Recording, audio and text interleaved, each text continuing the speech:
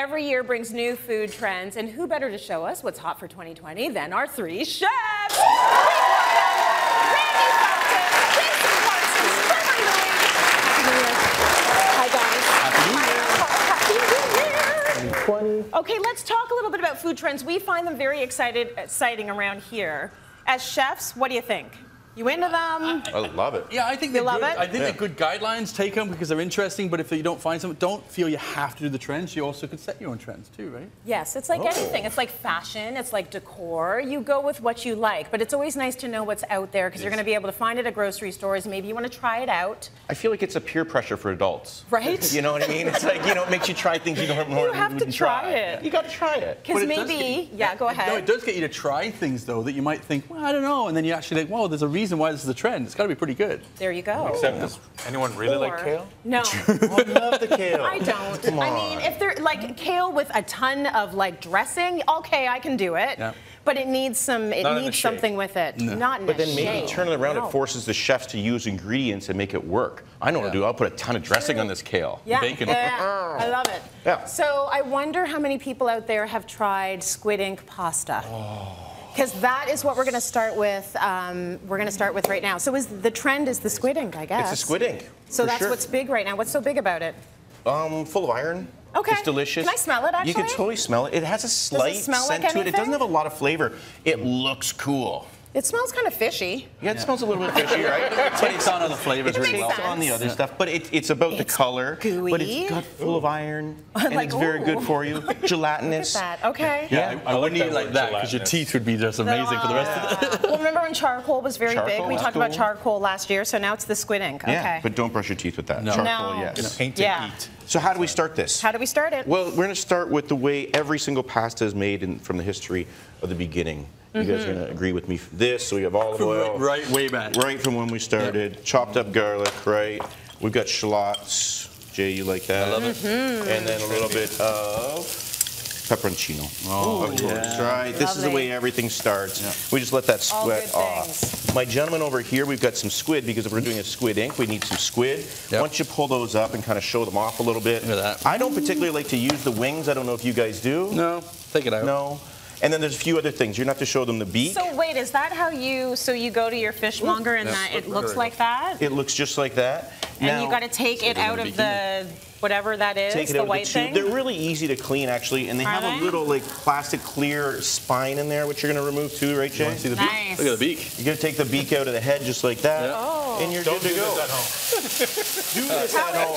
Okay, okay. And I want you. Can you take the wings off too? Yeah, please? we'll take the wings Okay. off. See, you just need a couple chefs at home to help you through this. You'll get this done, no problem at all. But you I could think buy- what's interesting is that we're so we us- a lot of us are so and I'm talking about myself here so s- like so many steps away from the actual food stores that it's weird to act, to see a real squid and to know that that's what it looks like because all we've ever seen is sort of the squid in like children's books or at the aquarium like they never looks like Battered like rings. Every fishmonger and every grocery store has squid. You have to ask. they're so and small. They, well, they, they get larger and they get smaller. The Okay. cuttlefish are a little bit smaller. But was actually, thinking of use octopus, them I is like the best thing in the world because when you cook it just gently and softly, it just kind of melts in your mouth. And it gives Mm-hmm. you that kind of like little pop to it, Yeah. right? It breaks up the pasta a little bit. Love it. When it's Sort of like right, the texture's octopus? amazing. Like I've had deep fried squid. Oh yeah. I've had I mean deep fried anything really uh, is good. Delicious. That makes sense for sure. Yeah. Um, it's delicious deep fried, but the reason why it's so delicious deep fried is cooked really quickly. It's Right. submerged, boom. So when we're doing it in the pasta, we're going to do the same kind of thing. Okay. So whenever we're doing pasta, I don't know, we could do a casareccia, we could do a garganelli, but I think you know this kind of dish just really needs a spaghetti because you're going to have that long kind of suck to it, Mm-hmm. and it just kind of breaks down all the barriers. So Jay, what do you going in? think? Let's go in. doing Let's it. do this up. So watch this. Just to catch up on the pasta sauce, I basically Yeah. caramelized it a little bit. Then I hit it with some white wine. Then I hit it with some pulp tomato, some Mm. capers, some black olives. And so we have this really strong flavor profile. It's like rich, it's gorgeous, it's red, it's looking great. And you'll see the calamari's kind of like just gonna start going and sucking up a little bit, right? Okay. How's it going? It's just like. It's kind of like, you know what it's gonna do? It's kind of like in its new year and it's just gonna flex a little bit in there, you know what I mean? It's gonna feel good. And then we're gonna put in some like, well, Al Dente, let's do this before we do that. We're gonna Yeah. go right in Now, like do you this, put 'cause now pasta water in your sauces? Every single time, I Jake. can't do every, it. I can't do it. every single Oh, time. Really? Really? Okay, So that's so the thing. check this out. We're gonna put a little bit of squid ink in, just like one, two, three little bombs like that. And you're ready for this? Oh, yeah. I need to ask you something then. If you, oh, that really spreads. Oh, if you're gonna use this, oh, that looks good. That look cool. All of a sudden, we just put a tuxedo on that cool. pasta. There we go. Yeah, Jay, a little bit It's of water. going out tonight. And this is where we get a little bit crazy because, you know, the Italians won't do this, but every other right person on the planet will.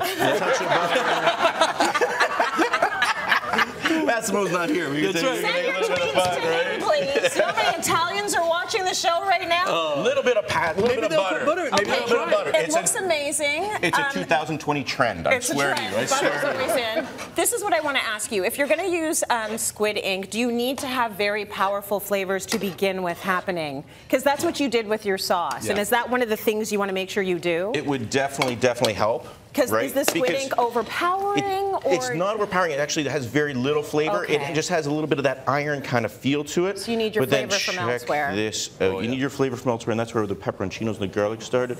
Wow. Oh my god. Yeah, don't oh my white. god. Push the rest of the noodles. But you Is know, this a first date no, food? Actually, I think you Do you should. not eat I this on a think, first I think you should throw a white party oh. and then serve this as the main course.